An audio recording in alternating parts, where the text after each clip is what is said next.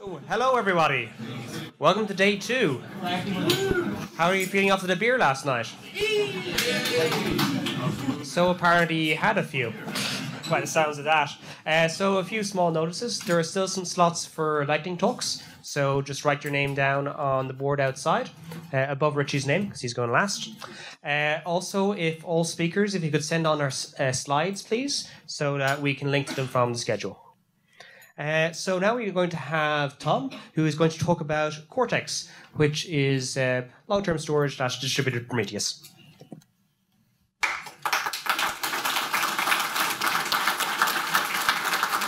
Thank you. Um, does this work? Yes? No? No? Yes. Okay, good. Um, hello, everyone. Thanks for the introduction, Brian. Um, as you said, I'm going to talk about Cortex, but first, I'd like everyone to put their hand up. Everyone? No excuses? Right, and now, if you weren't here last year, you can put them down again. If you weren't, yeah. Okay, not as many as I was hoping. So this is going to be a bit of a, a, a weird talk then, because um, it's going to be very referential to last year's talk, and I'm going to try and build on that. Uh, last year, I presented Cortex, which is a, a horizontally scalable, distributed uh, Prometheus um, version of Prometheus, basically. Prometheus compatible monitoring system, I guess. Um, you should all go and read that or watch that video. So I'll give you about five minutes here. Um, okay, so yeah, about a year ago, I had a different haircut. Um, I'll give you a brief overview of what we discussed last year, and then I'm just going to build on it and give you my experience of running this system and, and, and improving this system for the last year. So, what is Prometheus? Prometheus is a natively multi-tenant where we uh, Prometheus service where we uh, isolate different customers in the same services. Um, we did this because uh, a year ago I worked for a company called Weaveworks, which is, is sponsoring this event, um, and we wanted to offer Prometheus as a service as part of uh, our product, which is called Weave Cloud. Um, so we needed multi-tenancy. We wanted to do it in, the, in a single service, not give like a container to each customer, because we wanted it to be nice and easy to operate. We wanted it to be more scalable and so on. We had a bit of experience running a container per customer, and it wasn't good. Um, one of the main motivations for Cortex was making it cost effective to run. You know, Weaveworks as a business, had to make money, and so therefore we had to, you know, sell this thing for more than it cost us to run it. And you'll see that later in uh, in my experience. We also wanted to offer a different set of trade-offs around scalability and HA. Um, Prometheus is a very high-performance system, you know, and it scales vertically very well. Um, but you know, some people have referenced yesterday, the HA story, if you run a pair of them and one fails, you get gaps in graphs and things like that. And that wasn't something that we really wanted to do. We wanted to give more of a kind of traditional HA story, a traditional distributed system story, um, that someone comes to expect from, from a service. Um, one of the nice things about Cortex is we wanted to offer virtually infinite retention and durability. And okay, that's a big promise, but effectively all we've done is, is not make that our responsibility. We've offloaded all of the storage to something like DynamoDB or Google Bigtable, and then you know if you want to delete the data from there, great, you lose it, but but it's not our problem. And this is how you know with something like DynamoDB, you can actually get really basically infinite retention. Um, and finally, yeah, there was when you're building a distributed system, there's a bunch of opportunities for performance enhancements that you don't get when you've got a single binary running on a single machine. And and the best example I've got of this is uh, when you're loading a dashboard through Cortex. Um, we parallel, massively parallelize each individual query. Um, sorry, we massively parallel parallelize between different queries, and therefore, like your overall uh, latency to load your dashboard can be better. It can be worse, as, well, which we'll cover in a minute. So, um, I've got a bit of an example of some diagrams, but I'm going to dive into the bottom one here. Um, this was the architecture we presented at PromCon last year. So we've got a, a normal. Oh, the laser pointer doesn't work on the screen. That's useful. Um, we've got a normal Prometheus up, up in the top left corner, um, and it's using the remote write API, which I discussed yesterday, to send data to, uh, to Cortex. Um, so Prometheus is still responsible for doing service discovery, still responsible for scraping your jobs, uh, still responsible for doing relabeling, still responsible for doing recording rules at this stage, um, and in a lot of deployments, still responsible for doing alerts. And then it would take all the data, take all the samples, send them to Cortex, you know, and you run an Nginx that does some authentication or something in front of it, which is not really part of Cortex. And then I've just noticed a typo. And that's going to be in every slide because I build on this. It's really annoying. And on YouTube, bro. Yeah. okay, so so it sends it to something called the distributor, which definitely should be distributor. Um, and it, this distributor's job is to basically implement the consistent hashing and the Dynamo style replication. So it will, the, the load balancing from the front end to the distributor at the time was just done by the kube proxy, so it was random. Um, but from the distributor down to the ingester, we avoid kube proxy and we target specific ingesters so that we can give some locality to where the time series should live. So the time series get, you know, we pick an ingester to send, or pick three ingesters to send the time series to. We, we replicate them out to the time series, and then it's the ingester's job to build chunks in the same way Cortex, uh, same way Prometheus builds chunks, and periodically flush these out to S3 uh, with a with an inverted memory, uh, an external memory inverted index in DynamoDB and some caching. And then on top of all of this, we picked Consul as kind of a, a, a place to store the distributed hash ring um, and all the tokens and, and some service discovery data and so on. That's not strictly necessary. One of the things I want to do in the future is make that more optional. So that's uh, in, how long did that take? In five minutes, that's my last year's 40 minute talk. And now we're going to talk about what I've learned in the last year. I'm going to try and do this roughly chronologically, but I'm going to also like focus on problems that I that we experienced when we were running it. So the first problem um, if anyone here works for Amazon, I'm apologizing because I'm probably going to be pretty, pretty uh, detrimental about uh, DynamoDB. We really struggled to saturate our DynamoDB throughput. And for those that aren't familiar with DynamoDB, with DynamoDB, you pay for provision throughput. You don't pay for use, you pay for provision throughput. So we came along and said, you know, we need 10,000 writes a second. We pay for that. And then we find out we get throttled when we try and do 1,000. Okay, so ah, crap, you know, and this makes the system, the maths that I did at the beginning, that makes it all invalid and makes it 10 times more expensive to run.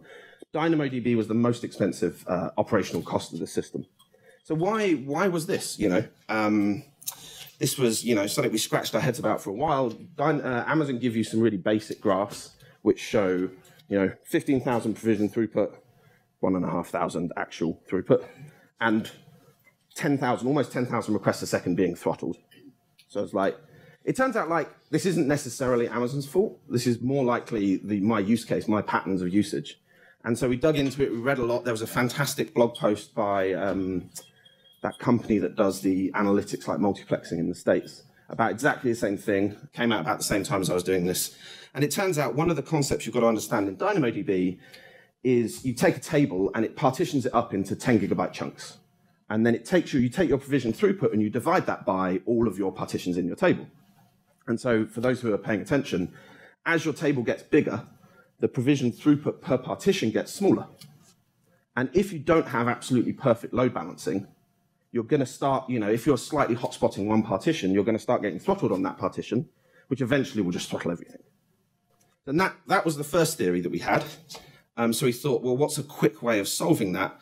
And what we thought we would do is we would add a job which would periodically rotate the tables, create a new table every week, um, update the code so it knew to read and write from the different tables.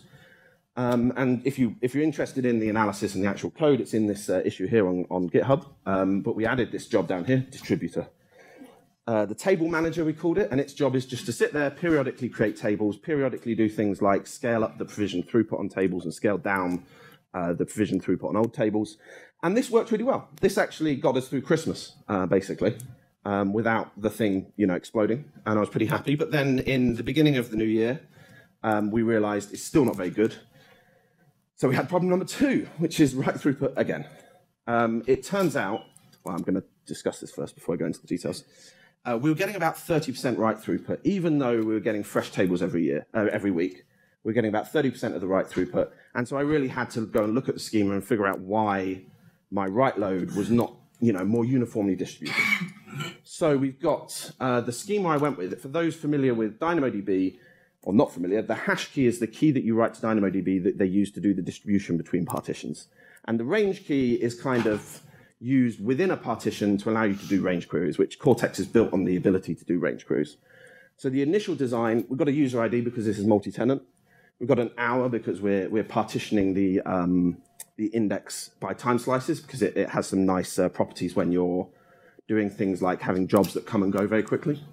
And then we added the metric name, and that was the hash key, and that was all we were distributing the data on. And then in the range key, we had the label name, the label value, and the chunk ID. And of course, for every time series, we'd write kind of eight to 10 uh, range keys. Um, but of course, anyone looking at this will realize that, you know, anyone who's run Prometheus will know that for, for some metric names, or I think was you saying yesterday, Brian, that, you know, uh, 50 to 80% of your, you know, Prometheus usage is really taken up by a handful of metrics. And this is definitely true for this schema. So 50 to 80% of all the write load was going to, you know, one or a small number of partitions. So the solution we came up with was to move the label name into the hash key. And this meant, this actually is still not perfect, um, it still suffers quite badly, but it's good enough, and it actually gets us to 99% of uh, saturation. So by moving the label name to the hash key, one of the things you'll notice is that you can't now do queries which just involve the metric name, um, because you need to be able to construct the hash key before you do your query. So we then had to write a second set of hash keys which look a lot more like this. But in this case, we just omit the label names and label values and just index the chunk IDs. And so this, around this time, we realized, you know, the first schema we built is not really going to fly.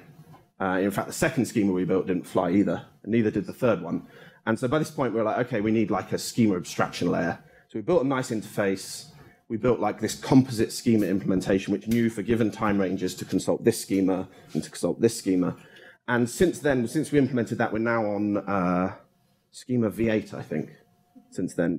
Lots of tweaks. You know, one of the things you'll also notice that we discussed last year is that you still need to know the metric name when doing the query.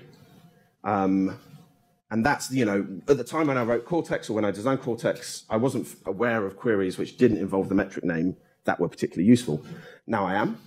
Um, so we've also added, or Aaron, who's sitting in the back somewhere, added recently the ability to do queries that don't involve the metric name. So that's a third hash key that gets written just containing the user ID and the day. And then we do some different tricks there to make sure the cardinality of that row is not too large. So, yes, that's about it for that. This gives us, you know, we get 99% of the provision throughput on DynamoDB now. Problem number three, queries of death. Um, Prometheus is not really doesn't really do much to protect itself. You know, if you if you ask it for you know 10 years worth of data, it will happily go away and calculate 10 years worth of data. If you send it a label name with you know with a megabyte of binary in it, or maybe a label value with a megabyte, it will consume that. Um, and so this was a problem for us because we're running this as a service, and you know we did have a few guys try and find the boundaries of this service. so uh, at the time, you'll notice in the beginning, um, I didn't, the, I didn't really uh, highlight it, but the read path just went directly through the same binaries as the write path. So the distributor implemented the PromQL query engine. Um, when you did reads, they went to the distributors, they would go and hit the ingesters and go and read from the chunk store, and everyone was happy. Um, but if you managed to find a query of death that would cause a distributor to oom or cause something to you know crash, then you'd actually take out the write path. And we care a lot about making sure we get your data in and we store it successfully. So what we did is we separated out distributor. That's going to really annoy me. We, uh, we separated out the query path out from the write path. This binary is actually identical to the distributor. Um, we just we just run another set of services with some different, slightly different flags, and then at the very top we just route requests to certain paths to the querier. And this also meant we could scale the two differently because there's very different um, requirements, you know, on QPS and latency between our writes, which are very very predictable, you know, they grow linearly with more customers, but they don't tend to, you know, change diurnally or anything like that. And the querier, which basically only gets traffic when, you know, people are in the office. And one of the other things this will enable in the future is us to kind of elastically scale this uh, in response to demand, but we've not done that yet. So yeah, that was that was problem number two. Three. I've got my numbering wrong, haven't I? Recording rules and alerts. So this was, as I mentioned earlier, when we first launched Cortex, we just completely ignored recording rules and alerts and we had them just done in the original Prometheus and send that the actual data, the recording rule data to us. And so um, this was a job, this was a project that Jono, who, who couldn't be here this, uh, this week, but Jono did at Weaveworks, and he added an extra job called the ruler. And this would sit there and periodically uh, do a bunch of queries, read from the, uh, and, and write the results of the ingestion, and basically implement recording rules. We did this, we, one of the decisions we took was to not have the ruler run its queries through the querier because again, the usage pattern uh, between the query and the ruler are very different. The ruler is again a constant load, something you can scale, you know, reasonably well, whereas the query is very unpredictable, something you need to scale up and down or, or do on demand. So yeah, so now it's kind of getting a bit a bit much, right? There's a lot of uh, a lot of things, but it gets simpler. The next one, oh, not not quite the next one, the one after. So problem number four we had. This one was actually my favourite problem um, because it involved some real like real software engineering and, and real debugging. We noticed that uh, everyone loves Grafana graphs.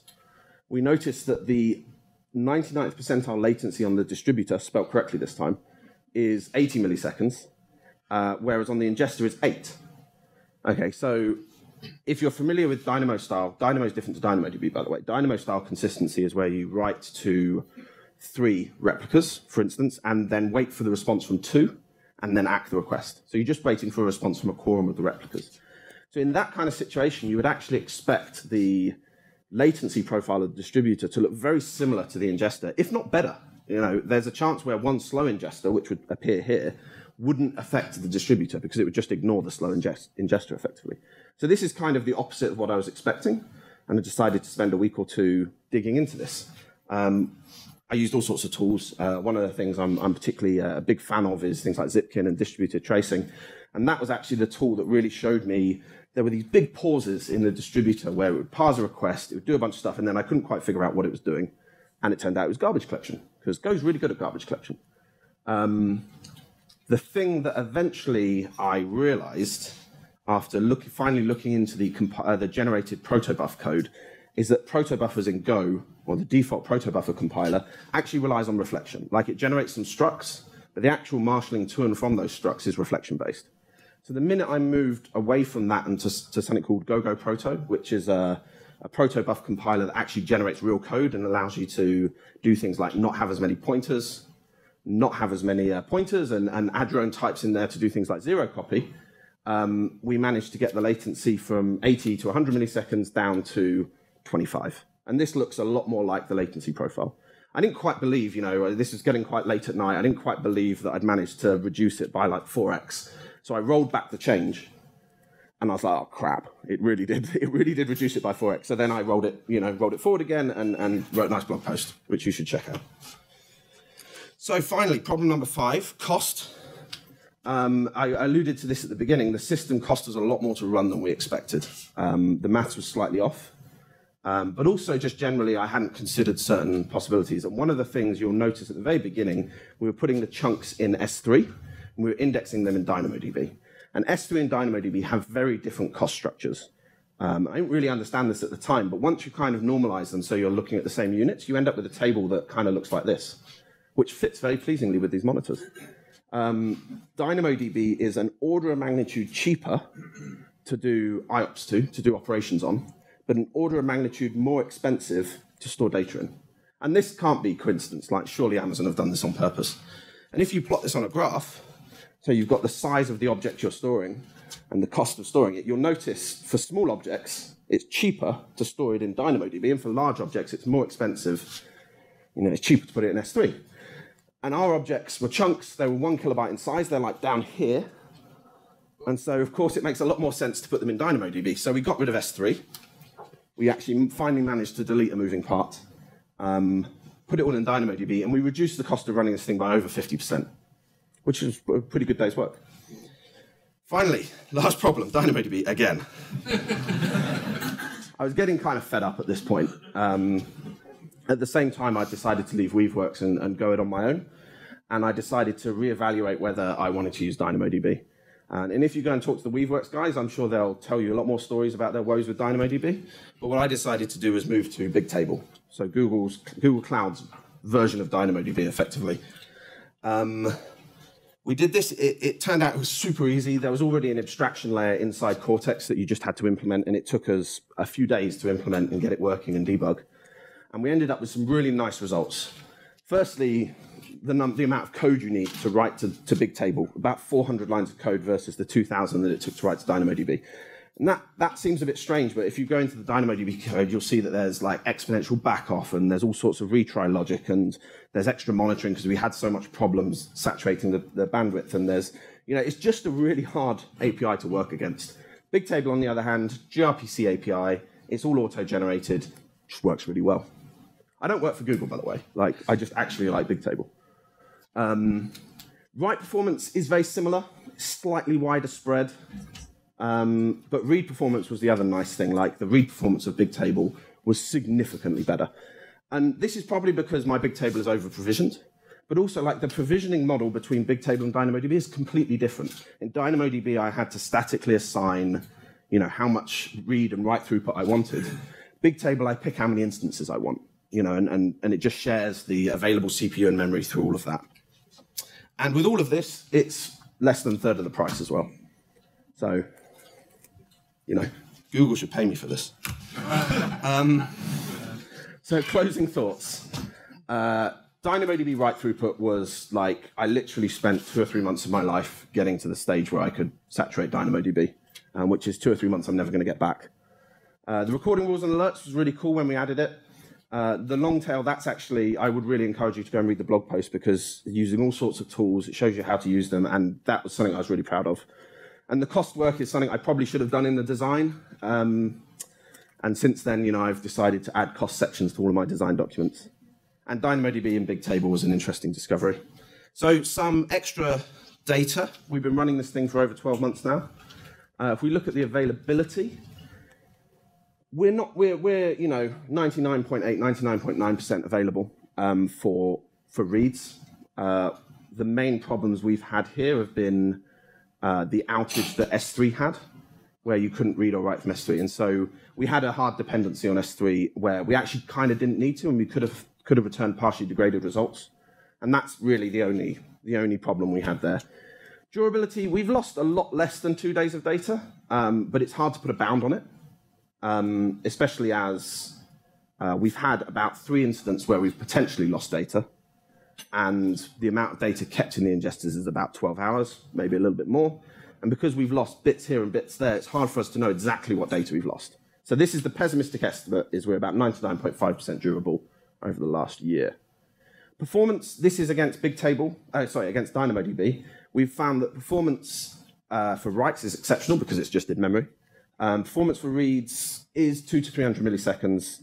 That's a bit optimistic, that number. Maybe that one's against Bigtable. I have found the Bigtable read performance to be significantly better. The big problem with the read performance is it's highly variable. You know, if you do a query that involves a lot of time series, it's slower than Prometheus. If you do queries, you know, lots of uh, queries in parallel that, uh, that involve fewer number of time series, then it, it's faster than a single Prometheus because it's got more resources. Um, but yeah, I mean, I'm pretty happy with the performance. It's nice and interactive and it works quite well. So, where are we going with Cortex in the future? Now that I'm working on Cortex full time, a bit of a change of direction from, from uh, what I was doing at Weaveworks. One of the things I want to do is integrate it more closely with Prometheus. I've Been talking a lot with um, Fabian, who I can't see, but and uh, where is he? And chap at the back whose name escapes me. I'm really sorry. Um, talking a lot about doing direct chunk writes from Prometheus straight into the chunk store, so avoiding the whole ingester. This will make it a lot cheaper to run and, and will give people the kind of long-term storage that they, they, they seem to want a bit more. Um, we want to do a we want to separate out the ingester index. So currently the, the, ingesters have an in-memory index um, that helps them answer queries against the last kind of 12 hours of data. We want to move that out into a separate service, and this will allow us to do a different kind of load balancing and distribution on that index as we do on the time series, and so it will generally allow us to do better load balancing. Um, I definitely want to use Prometheus TSDB for the ingesters. I've got a kind of, you know, uh, Prometheus 1-esque system that I've kind of hacked up and forked from there, and I want to move it forward to the new thing. I've already discussed uh, moving to Gossip for the ring storage and, and maybe adding etcd, maybe looking at uh, libkv and stuff like that for an abstraction layer there. And I did the same calculations that I did for S3 and DynamoDB for uh, Google Cloud Storage, which is their S3 competitor and Bigtable. And it turns out the answer is the opposite it turns out it's actually cheaper to put the chunks in cloud storage this time. Um, so that's something I want to do. I want to make the system. Also, cloud storage has incredibly good latency. I don't know how they do it, but the, the S3 latency for small objects is atrocious. Like, you know, 99 percentile is like a second. Uh, cloud storage doesn't have that. It's much, much faster. So, really quickly, one more thing. As I've alluded to, I've left Weaveworks at, oh, I've left Weaveworks at the beginning of June to focus on Prometheus and Cortex development. Since then, I've teamed up with a chap called David, who's in the corner over there. Um, and we're working together on some ideas around Prometheus and logging and tracing. As I'm now, like, you know, we're self-employed and we're looking for work, this is a teeny, teeny little pitch. You know, if anyone wants some Prometheus hosting or consulting or training or support or anything, um, you know, just give us a ping. We've registered a, a, little website and stuff. You should check it out. I just wanted to give you a quick idea of some of our ideas here. Most of this is complete demoware. Um, this works. This is our new UI for Cortex. Um, so you can do tab completion and all the usual things. Um, and the graphics are awfully low resolution. I apologize. Uh, but that works really well. But one of the things we've, we've, one of the ideas we've got that we're working on that we've prototyped is the ability to use the Cortex index. I talked about separating out the ingester index and the chunk store index. Use that to also index log data.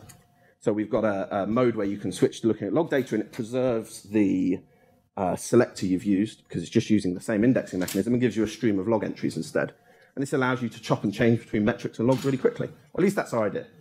Um, and we want to do the same thing, and this is really verging into the world of demoware now. We want to do the same thing with tracing. Uh, I've got a project that I was working on a while ago called Loki, um, which does kind of Prometheus style tool based tracing, and I want to integrate that into here as well. Yeah, it's basically Zipkin, yeah. It's the same idea at least. Different code. It's written in Go, uses protobufs. Anyway, that's it. Thank you very much.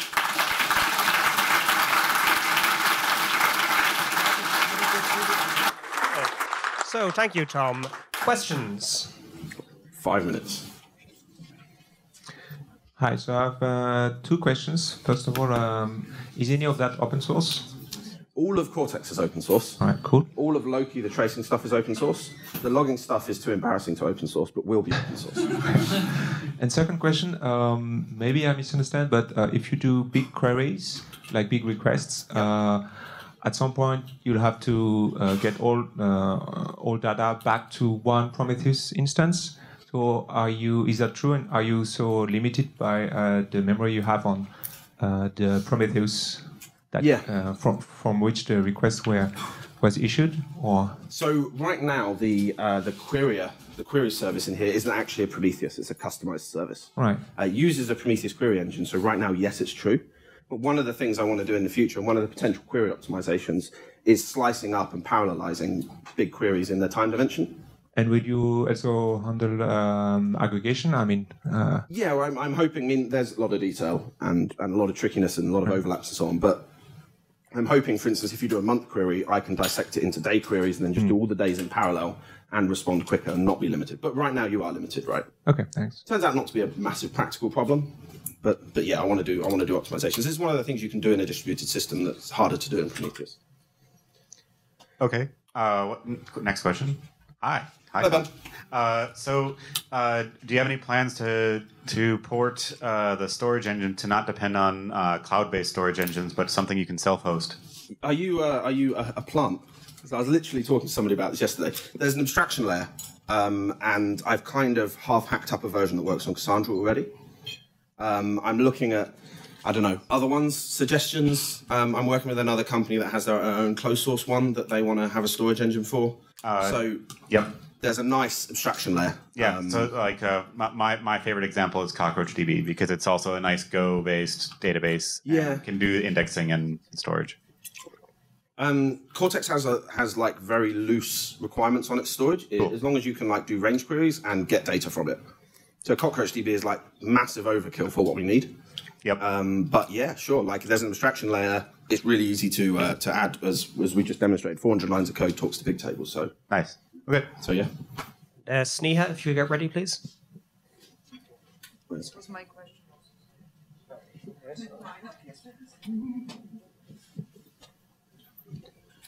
Uh, this Cortex, how how much is it Prometheus still?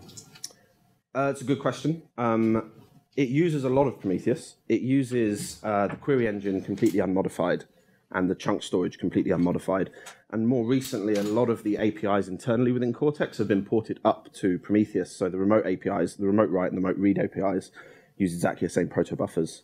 Um, the API is completely the same, uses the same API code. Uh, other than that, it's all custom. Um, so it, it, you know, there's a lot of custom code there. Um, I mean, if you look in the Cortex repo, it's all custom code because we just vendor in Prometheus. And I, I didn't, I should have a line of code count, but it's, you know, it's probably like twenty thousand lines of code. So it's a lot. Thank you. Any more questions? Cool. Thank you very Martin, much. thank you very much.